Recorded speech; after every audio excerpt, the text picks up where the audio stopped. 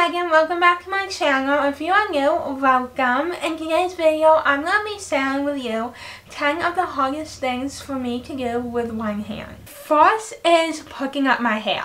Now, I have done a video of me picking up my hair, and while I do have one way where I do it, that's the only way that I know how to do it. Like, there's only one way I can really pick up my hair. It takes a lot of practice and patience as well, which I'm not the best at, so I get really frustrated easily. So like I prefer like today I'm wearing a headband and I can do that pretty easily. Um, so I will often do that or just wear it down most of the time.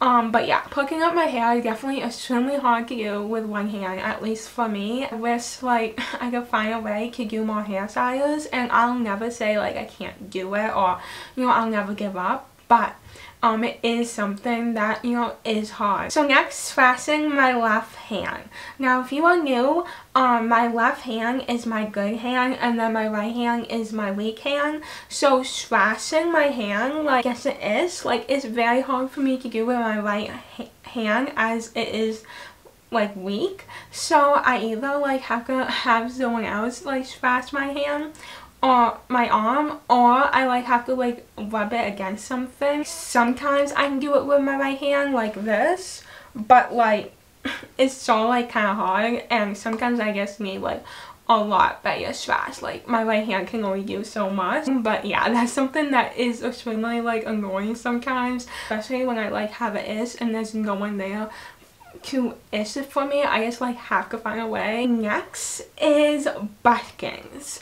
Um, buttons are hard to do with one hand and I honestly try to avoid it as much as possible. So like for example, wearing jeans, like I leave them buttoned. Like I put on my jeans like with them already bucking and somehow I managed to like put them on without any problem. But occasionally there are times where I do have to bucket and they sometimes like take a while for me to do but I prefer to just like not like deal with buckings and but then again you know like I said there are sometimes where you know I have to bucket them and like it might take me a long time. Sometimes I'm lucky and actually doesn't take me too long. But you know most of the time I do avoid buckings. Putting on earrings and necklaces. So when I was 13, I got my ears pierced and I like never really found a way for me to put on earrings with one hand. Like every time I ha had earrings in, like, you know, my mom would help me or like someone would help me put them in and then I would wear them like for a long time and then eventually like you know, I took them out because it was just too hard for me to like try different earrings. And also my ears were kind of like sensitive as well. But you know, for the most part, like, I couldn't find a way to, like, do it with one hand. I just felt like, you know, there was no point, like, you know, it's gonna be frustrating, It's, like, I didn't, like, have to wear earrings, but, like, I definitely want to, like, to try to earrings and I liked them at the time. And you know at this point I believe like my ears have closed so like I can't wear earrings now unless I get them pierced again. But like I honestly at this point I don't know if it's worth it because like I'm fine with not wearing earrings. But you know it is something like maybe I could have tried harder but you know it definitely harder than you think, like putting earrings on with one hand. And then necklaces, I do wear sometimes and I do enjoy wearing them.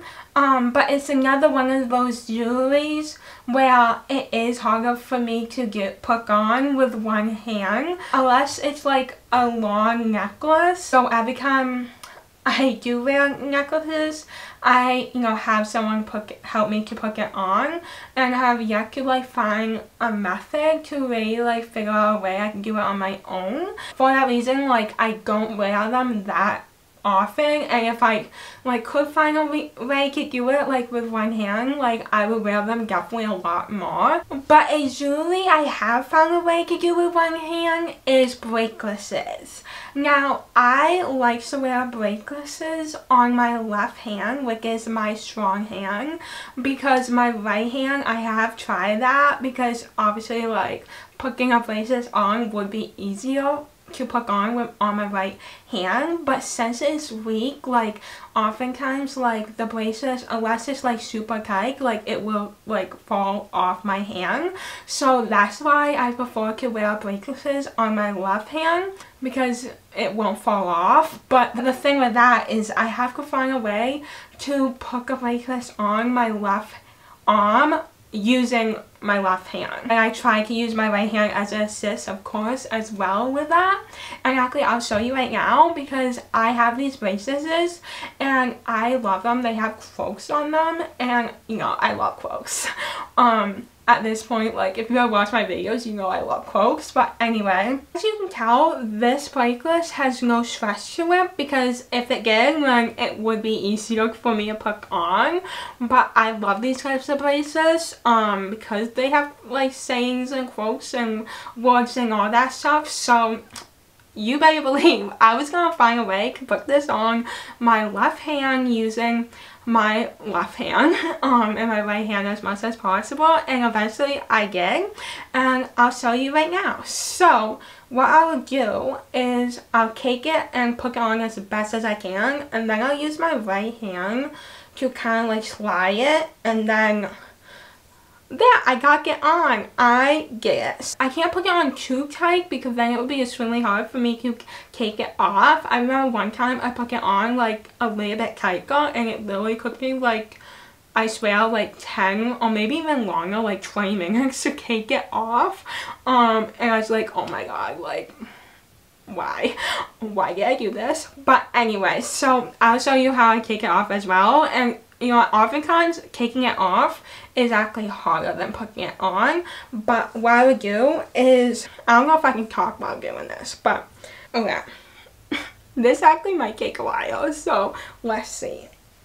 I'll try to grab the bracelet with my fingers in the opening and I'll use my right hand as much as possible to like help that. Once I have grabbed the bracelet with my fingers, I will then like do my best to like like take it off like that. Like it's hard to describe but I get it. So yeah. So this is how I take my bracelets off.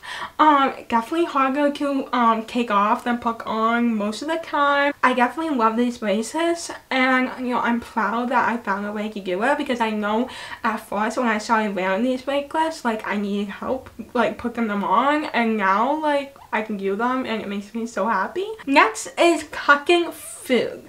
Now, this can be hard. I do have a knork. If you don't know what a knork is, it's like a knife and a fork combined.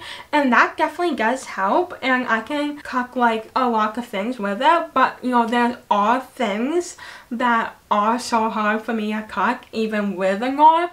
Like meats oftentimes and like things like that that are hard. Um, so I will need help with that. I do my best and that is definitely hard to with one hand because as you know, like you hold the fork with one hand and a knife in the other and then you cook and obviously like I can't do that. The knork definitely does help but it can't like cook everything. And then in terms of like other foods I do have a cooking board that is helpful as well.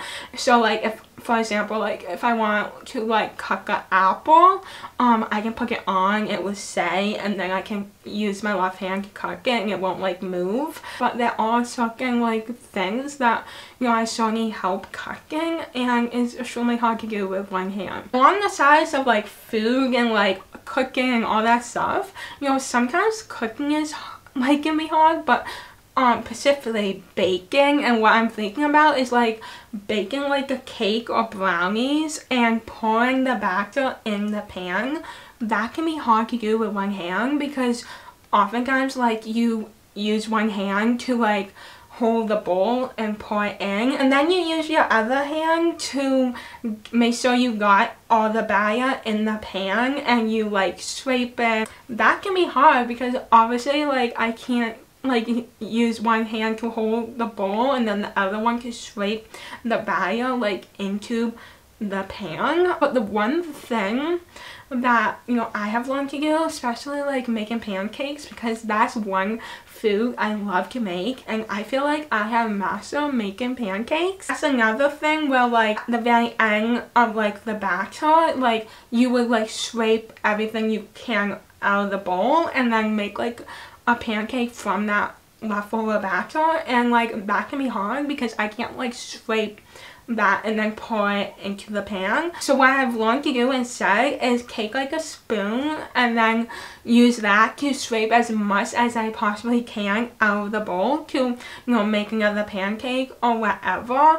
And, you know, that has worked pretty well for me. Tying literally anything, um, of course, like tying shoes, that's something I still struggle with.